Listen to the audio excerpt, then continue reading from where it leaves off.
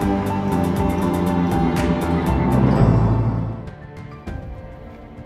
फरीदाबाद के सेक्टर 12 स्थित खेल परिसर में आज दो दिवसीय मुख्यमंत्री अंत्योदय परिवार उत्थान मेले का शुभारंभ हुआ।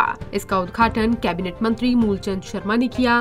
इस मौके पर उनके साथ पक्ष और विपक्ष के तमाम विधायकों के अलावा प्रशासनिक अधिकारी भी मौजूद रहे।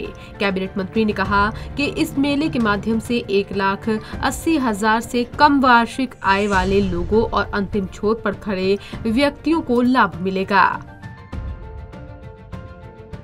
ने जो आज उसके मेले से शुरुआत है, अंत्योदय जिस आदमी को जिसकी ज़रूरत है, उसकी आज मेले का उद्घाटन सभी बहन सीमा जी, नरेंद्र गुप्ता जी, मेरे नैन पाल चेयरमैन, अपने राजेश नागर जी हैं, अपने नीरज शर्मा जी, सभी अधिकारी हैं।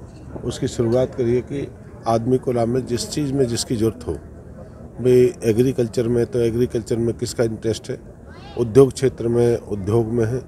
आय से कम उसकी मान लो, मैं आय में एक लाख अस्सी हज़ार से कम है, उसको लोन ये सारी स्कीम जो प्रदेश की जो स्कीम है, उसको लागू करना और अंतिम व्यक्ति जिसको ज़रूरत है उस तक पहुंचाना, ये सरकार का कर्तव्य है और इसके लिए मेले का आयोजन है। हमें सभी साथी मिलकर इस मेले का आयोजन रखा है और मेले में ज़्यादा से ज़्यादा लोग लाभ उठाएँ और जो लिस्ट है उसका सबको लाभ मिलेगा हर चीज़ का जितने जितने मेलों से या जितने लोगों के प्रचार प्रसार से ज़्यादा से ज़्यादा प्रचार प्रसार होगा, उससे ज़्यादा से ज़्यादा लोगों को लाभ मिलेगा और लोगों में जागृति होगी। लोग अगर रह जाते हैं, आने वाले समय फिर उसका लाभ उठाने का प्रयास करें मुख्यमंत्री मनोहर लाल खट्टर जी को धन्यवाद देते हैं, जो उन्होंने इस तरह के मेले का आयोजन किया, क्योंकि कई युवाओं को ज्ञान नहीं होता, पता नहीं होता, जानकारी नहीं होती कि भाई किस तरह से कहाँ पर उनकी मदद हो सकती है।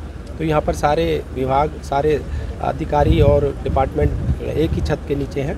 और उनको यहाँ पर आकर उनको लाभ मिलता है। सर यहाँ पर जैसे कुछ कृषि करना चाहें। देखो अंत्योदय के तहत जो आखिरी पंक्ति में हमारा व्यक्ति खड़ा है उसके लिए मदद के लिए जिसकी आय एक लाख अस्सी हज़ार से कम है उसके लिए लोन की भी सुविधा है आम के लिए भी उसको लोन दिया जा रहा है रोज़गार के लिए भी लोन दिया जा रहा है हम्म। और मछली पालन के लिए भी किसी कृषि के लिए भी और और कोई भी काम जो करना चाहता है उसके लिए लोन दिया जाता है। आज युवा जिस तरह यहाँ पर लगाए गए कई विभाग यहाँ पर आए हुए हैं उनको रोज़गार के लिए भी, उनको ट्रेनिंग अगर देनी है तो ट्रेनिंग भी निःशुल्क फ्री पर ट्रेनिंग दी जा रही है और उनको जो क्रैश कोर्सेज हैं उनके लिए भी यहाँ पर ट्रेनिंग दी जा रही है।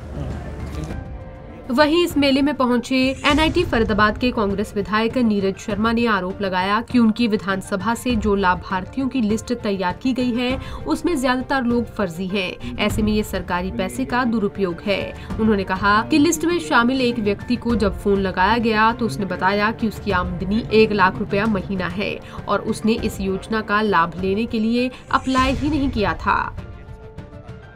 ये सिर्फ़ जनता के पैसे की बर्बादी की जा रही है। लोगों की आँखों में धूल झोंकी जा रही है। मैं यहाँ मेले के उद्घाटन में आया।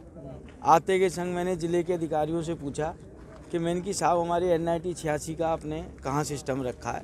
तो उन्होंने कहा ये जोन नंबर एक एन आई टी छियासी का है। मैंने कहा कितने आदमी हैं? उन्होंने कहा 200 कुछ आदमी हैं। तो मैं लिस्ट लेके आया उनके यहाँ से ये। और मुझे बड़ी हैरानी हुई कि मैंने पाँच मिनट के अंदर इसका नीर छीर कर दिया। ये 255 आदमियों की लिस्ट है। इसमें से सत्तावन आदमी तो वो निकले जो एन आई छियासी के नहीं हैं। हम्म। उसमें से एक हमारे यहाँ अपना घर सोसाइटी है बड़ा रिच एरिया हमारी विधानसभा का। हम्म। वहाँ का एक आदमी का नाम था मैंने कहा जी इसको ज़रा फ़ोन मिलाना। क्योंकि एक गरीब व्यक्ति खड़े थे विकलांग भी हैं हम्म। उनका नाम नहीं है इस लिस्ट में।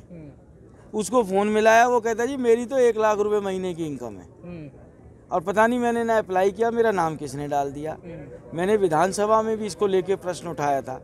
खास तौर से ये मैंने बात कही थी कि ये जो आप परिवार पहचान पत्र नए बना रहे हैं और इसके अंदर ए वाई का डाटा रख रहे हैं, जबकि ए वाई का डाटा ऑलरेडी हमारे पास है। वाजपेयी जी की सरकार के समय ये प्रोजेक्ट आया था, उसके हिसाब से राशन कार्ड बट रहा है। आपको इसको नई की ज़रूरत क्या है? उसके बाद किसी भी सरकारी अधिकारी ने या सरकारी अमले ने जो जनता से की, खून पसीने की कमाई से तनख्वाह ले रहा है उसने इतनी ज़रूरत भी नहीं समझी। कम से कम 20 मकानों के एड्रेस हमारी पुरानी प्रेस कॉलोनी के हैं, जो कि सबको पता है कि प्रेस कॉलोनी आज बंद हो चुकी है। वो क्वार्टर सरेंडर हो चुके हैं, ना वहाँ कोई रहता है, ना वहाँ बिजली का कनेक्शन है, उनके नाम भी फर्जी डाल दिए गए हैं इसके अंदर। ये योग्य लोगों को तो इसमें इंक्लूड ही नहीं किया, सिर्फ़ सिफारशियों को इंक्लूड कर लिया इसके अंदर। अब देखो ना, मेले के अंदर जितने लोग आए हैं, ज़्यादातर से आप पूछना, जो यहाँ भटक रहे हैं वो वास्तव में गरीब है उनका नाम ही नहीं है लिस्ट के अंदर। सिर्फ़ खाना पूर्ति करी है।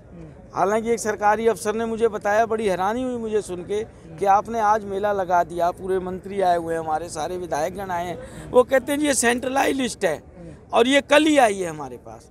ये बिल्कुल आनंद फानंद में किया हुआ कार्य है। जल्दबाजी के अंदर और सरकारी पैसे का ये बहुत बड़ा दुरुपयोग है। विपक्ष के तमाम विधायक एक मंच पर तो ज़रूर आए, लेकिन यहाँ पर भी आरोप प्रत्यारोपों का दौर जारी रहा।